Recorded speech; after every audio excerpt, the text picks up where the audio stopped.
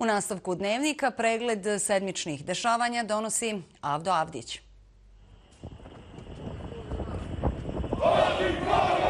Ni Bog nije baš pomogao. Euforova cesna za oprašivanje usjeva zaustavila je dio zračnih snaga MUPA Republike Srpske. Pa imali ste prilike da vidite da se pojavio Eufor, Euforov avion ovdje koji je nadletio 5-6 e, puta okolo sa namjerom da vidi šta se dešava. E, mislim da su trebali da najave nešto tako s obzirom da su znali i mi smo najavili da će naši helikopteri biti u vazduhu. Iz tog razloga nismo i digli drugi helikopter da ne bi napravili neku incidentnu situaciju u vazduhu. Incidentnu situaciju početkom je sedmice pokušao napraviti Milorad Dodik.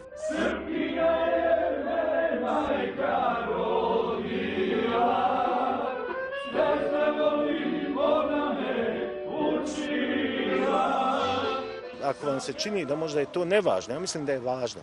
Mislim da je gospodin Dodik ovim potezom zapravo želeći da pokaže šta. Šta da pokaže? Samo sebe na neki način ponizio. Ali to je stvar njegovog izbora. Naša je obaveza i moja je obaveza da ne dozvolim da ponižava instituciju. Na kraju sedmice u kojoj je ponizio institucije BiH, lider SNSD-a je otputovao u Beograd da pred Aleksandrom Vučićem ponizi sebe. Nakon prijetnji nasiljem i slovenačkim scenarijem, Dodik sada smiruje strasti. Orožane formacije odveo je u livade i šume. Mi želimo da sjedemo, da o tome razgovaramo, da im ukažemo i konačno da shvate da je to ozbiljno i da mi ne možemo da popustimo u smislu da nam se oduzme zemljište i da se oduzme šume. Vučić je otkrio Dodikove strahove. Oni koji misle da se sankcijama probleme rešavaju, na pogrešna vrata kucaju.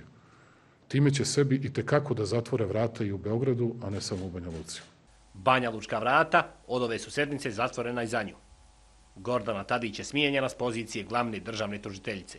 Vijeće je e, glasalo i e, donijelo je odluku da se žalba odbija, odnosno da se drugostepena odluka potvrđuje. E,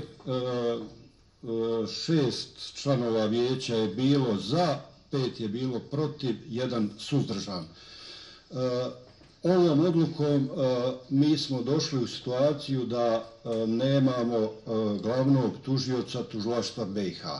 A onda je predsjednik VSTV-a Halil Lagumđija odlučio da tužilaštvo Bosne i Hercegovine preda Milanku Kajgariću.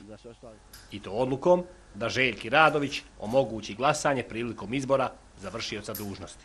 Željka će biti uključena u donošenje odluke o izboru vršioca dužnosti glavnog tužioca. Željkin glasi na kraju presudio. Kajganić je novi VD glavnog tužioca. I sada je na teškom ispitu. Uvaženi predsjedniče Narodne skupštine, poštovano rukovodstvo Narodne skupštine. Narodna skupština Republike Srpske izvršila je upad u pravni i zdravstveni sistem BiH usvojen je zakon o lijekovima Republike Srpske, a sve navodno zbog nedostatka kisika. Iz tog razloga se i predlaže zakon koji se nalazi pred vama da se donese rješenje kojim bi podrazumevalo osnivanje agencije za lijekove same Republike Srpske, koja bi se svakako osnovala u skladu sa ovim zakonom. U skladu sa Ustavom na redu je tužilaštvo. Ili barem nezabrinuti Kristijan Schmidt.